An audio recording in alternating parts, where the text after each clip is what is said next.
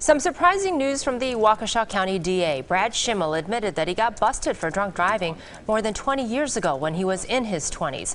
Schimel is running for Attorney General now. He says he made a mistake, pleaded guilty, and took responsibility for his actions. New Jersey